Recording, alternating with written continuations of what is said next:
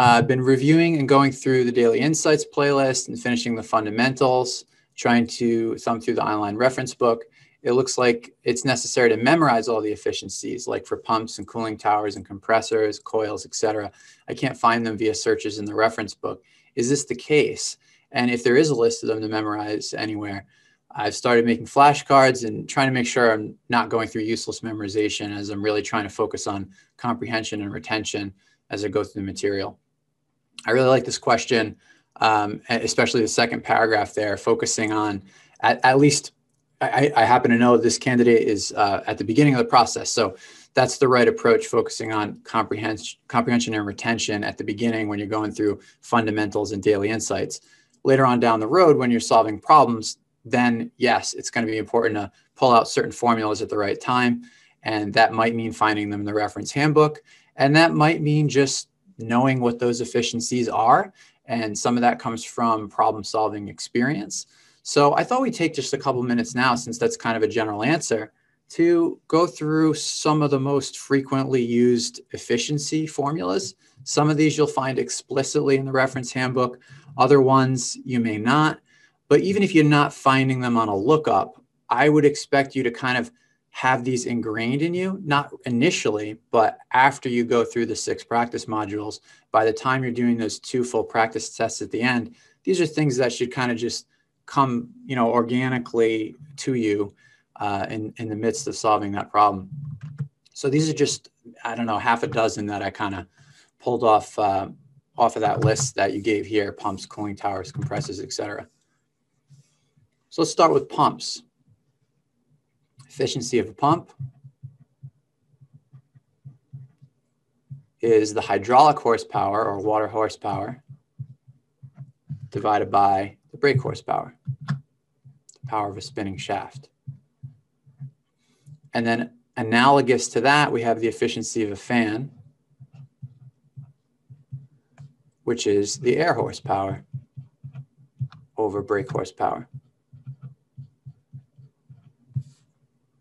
And then for both of those, we can say that the power of a pump set or the total efficiency, not the power, the efficiency, is the product of this efficiency, the efficiency of the pump, and the efficiency of the motor that's driving that pump. So we'll call that N sub T for total, or you can say the overall efficiency of the pump set is the efficiency of the motor times the efficiency of the pump. You hear me talk a lot about this in practice problems that cause you to make a decision as to whether you're going to deal with the efficiency of just the pump section or the overall total efficiency. And then the same can be said for a fan. You can have the total efficiency of a fan uh, with its motor, and that would be the efficiency of the motor times the efficiency of the fan. And then cooling towers. Cooling towers, sometimes you say it's efficiency, sometimes you say it's effectiveness. I don't know. I people get confused, and I think the terminology gets thrown around. But um, suffice it to say that the reference handbook uses this kind of sigma for cooling towers. So we'll just use the same nomenclature they do. And what is the effectiveness of a cooling tower? It's the amount of reduction in condenser water temperature that you're actually getting, the range, as compared to what you could be getting, which is the difference between the temperature of the water that's entering and the outside wet bulb on that particular day. So entering water temperature minus leaving water temperature divided by the same thing, entering water temperature, because that is what you're starting with, minus the outside wet bulb temperature. Or another way to say the same thing is the range, or the condenser water delta T, and the sum of the range and the approach. The range is simply the delta T, right? The approach is the difference between the leaving water temperature, leaving the tower, and the outside wet bulb, right? It's the difference between what you're getting and what you could be getting. And if you you know, make those substitutions and do the algebra, you'll find that that leads right back to this. And just to give you the maximum flexibility here in terms of terminology, if you don't want to think about it as entering and leaving, you can say that the leaving water temperature, the leaving water is the condenser water supply. It's being supplied by the cooling tower to the water cooled chiller. And the entering water temperature is the condenser water return. It's being returned to the cooling tower to be cooled. And then how about coils? If you have something like a cooling coil in an air handling unit, um, or really any you know fan coil unit, anything with a coil, or even if you have uh, like an air washer type situation, then you can define the efficiency of a coil.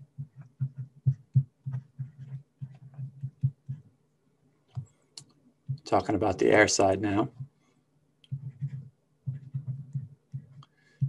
This can be defined as the entering air temperature minus the leaving air temperature divided by same thing, entering air temperature, but now instead of leaving air, it's what the leaving air could be, which is to say it could be reduced all the way to the surface temperature of the coil, what we call the apparatus dew point. So a 100% efficient coil would, in theory, reduce the leaving air temperature all the way to the apparatus dew point. Of course, that never happens uh, in, in reality, but oftentimes in problem solving, we assume that it does. We assume it's a perfectly efficient coil unless there's some specific reason not to or more information given. Another way of expressing the coil efficiency is this idea of a bypass factor, where the bypass factor is 1 minus the coil efficiency.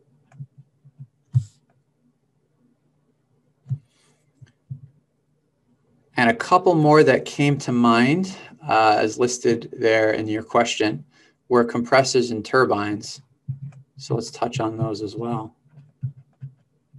For a compressor, let's draw for a moment before we write the actual formula. What's happening on a pH diagram for a compressor? We have a situation where we want to increase the pressure. That's what a compressor does from state one to state two. So if that's the case, we would hope to um, pay a certain cost in terms of the change in enthalpy from one to two. We would expect to pay that, that cost in energy in order to increase the pressure from state one to state two.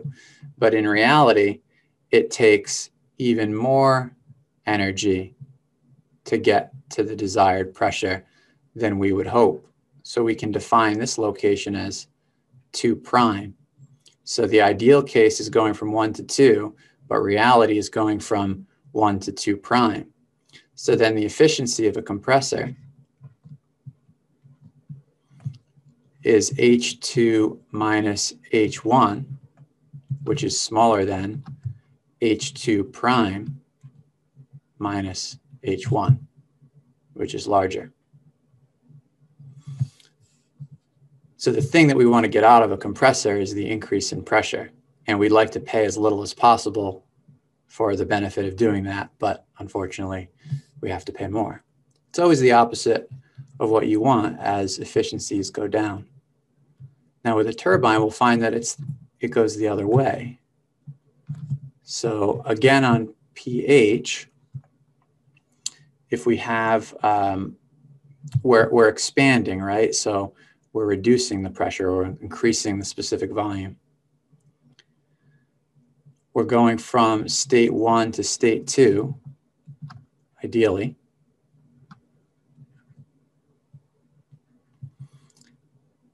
But in actuality, we don't get as much energy out as we would like.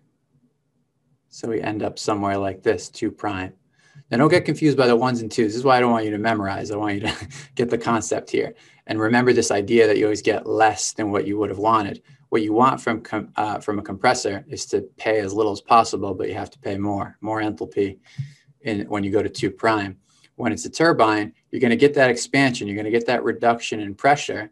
And you'd like to get as much energy out of the process as possible because the turbine's producing power, but you get less than you could. So what does that mean then for the efficiency of a turbine, it's H1 minus H2 prime, which is smaller than H1 minus H2. So those are just some highlights and, and, you know, these are some ones that came to mind. I'm sure I'm missing a couple. And, you know, if you want me to go over any others on another occasion, we can certainly do that. But um, yeah, again, at the beginning, if you're early in the process, comprehension and retention, don't worry about memorizing these. Just know that they exist and be ready to pull them out when you need them. If you're later in the process and anything I said here is like uh, not not something you have seen, then that's that's not good, right? Then you want to kind of go back and say, all right, where did I have an opportunity to cover these ideas and you know find those practice problems and make sure to hit those again. Great question.